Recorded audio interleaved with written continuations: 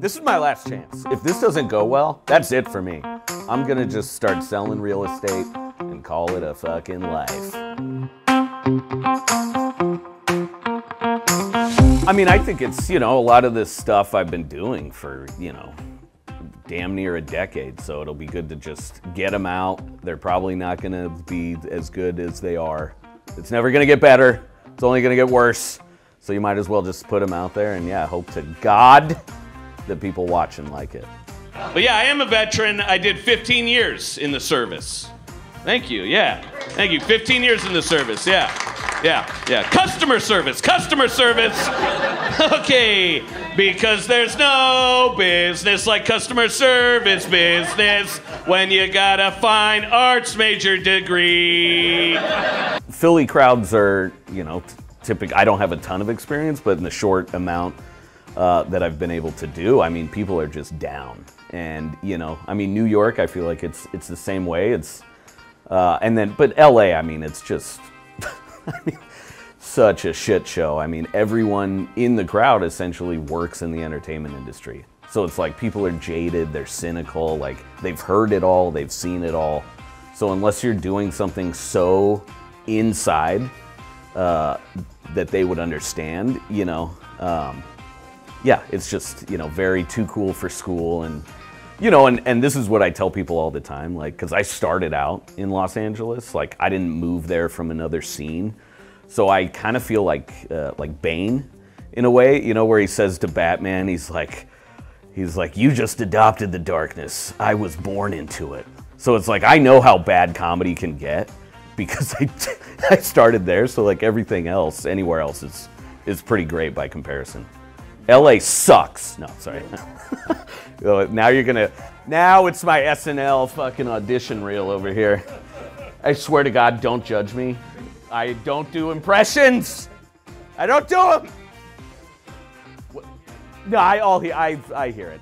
I hear it in my head. Uh, yeah, a lot of. A lot of times, yeah, in in LA comedy, I, I do feel like uh, I feel like Bane in Batman, where I'm saying to stop. What do you fucking do? yeah. So anyway, you know, in LA comedy, I feel like Batman a lot of the times. You know, where I'm uh, I'm saying I don't feel like Batman. Hold on. For me, it feels like Bane in Batman, where it's you know, it's like uh, wait, let me SNL. Here we come. Here it is, Lorne Michaels.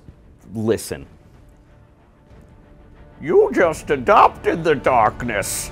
I was born into it. Ugh.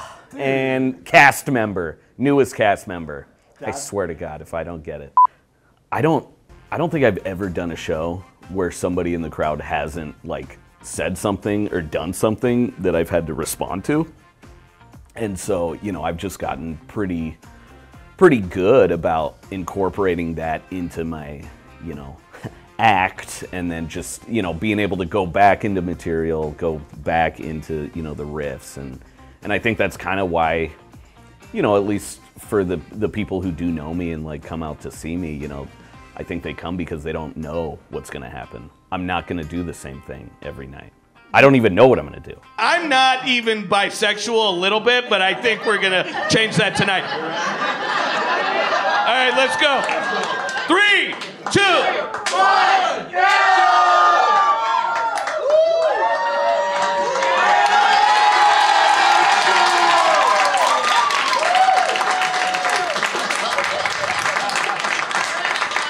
Yeah! I am attractive by association. That comedy is so different from music. I mean, you know, it's it's similar, but like you go to a show because you want to hear your favorite band play the hits.